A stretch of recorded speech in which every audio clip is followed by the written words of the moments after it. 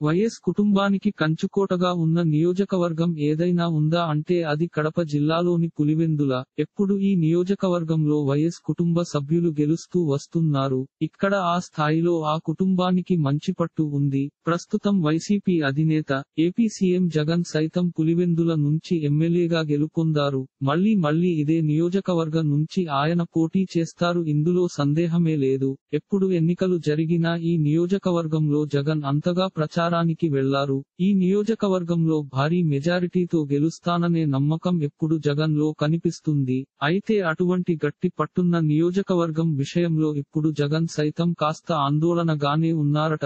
గతంలో ఉన్న మాదిరిగా పరిస్థితులు ఇప్పుడు లేకపోవడం తమ ప్రధాన రాజకీయ ప్రత్యర్థి టిడిపి ఈ నియోజకవర్గంలో ఎక్కువ ఫోకస్ పెట్టడంతో జగన్ సైతం ఇప్పుడు పులివెందులపై ప్రత్యేక దృష్టి పెట్టాల్సిన పరిస్థితి ఏర్పడింది. దీనికి తోడు కుటుంబంలోనూ వివాదాలు పెరిగాయి. ముఖ్యంగా జగన్ చిన్నాన్న వైఎస్ వివేకానంద రెడ్డి హత్య వ్యవహారం తరువాత బంధువులలోనూ చీలికలు వచ్చాయి. అంతేకాదు జగన్ షర్మిలకు మధ్య తీవ్ర స్థాయిలో విభేదాలు ఉన్నాయనే ప్రచారం జరుగుతుంది. ఈ క్రమంలో జగన్ ఈ నియోజకవర్గం పై ఫోకస్ పెంచినట్లు సమాచారం. ఇప్పటి వరకు ఈ నియోజకవర్గం తరపున కొంతమంది నాయకులు వ్యవహారాలు చూసుకునేవారు. ఇదే విధంగా చక్రాయపేట మండలంలో కొండారెడ్డి వ్యవహారాలు చూసుకునేవారు. అయితే ఇప్పుడు కొండారెడ్డి దూరమయ్యారు.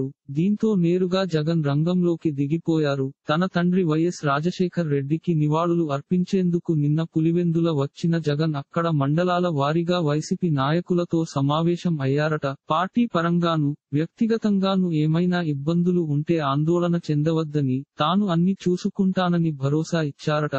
గతంలో ఎప్పుడూ లేని విధంగా మండల గ్రామ స్థాయి నాయకులతో జగన్ నేరుగా భేటీ కావడంతో పార్టీ నాయకులలోనూ సంతృప్తి కలిగించిందట. అయితే అయితే ఇటీవల వైసీపీ నాయకులలోని చీలిక రావడం కొంతమంది నాయకుల పెత్తనం ఎక్కువ కావడం పులివెందులలో పరిస్థితులు కాస్త గందరగోళంగా మారడం తదితర వ్యవహారాలతో జగన్ ముందుగానే అలర్ట్ అయి రానున్న రోజుల్లో తనకు ఎటువంటి ఇబ్బందులు లేకుండా పులివెందులలో రాజకీయ ప్రత్యర్థులకు పట్టు దొరకకుండా చేసేందుకు ప్రయత్నాలు చేస్తున్నట్టుగా కనిపిస్తున్నారు. ఇలాంటి మరిన్ని తెలుగు వార్త విశేషాలు కోసం ఛానల్కి సబ్స్క్రైబ్ చేసి గంట నొక్కడం మర్చిపోకండి.